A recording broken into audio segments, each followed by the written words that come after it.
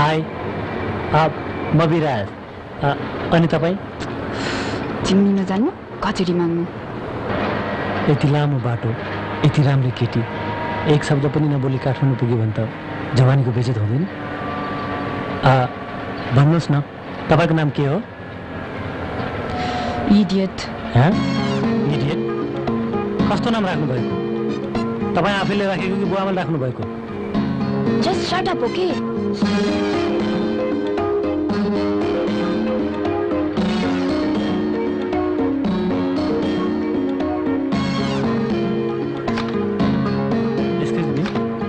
आफ्नो नाम नभने पनि ड्याडीको नाम त भन्नुहोस्। नभन्ने?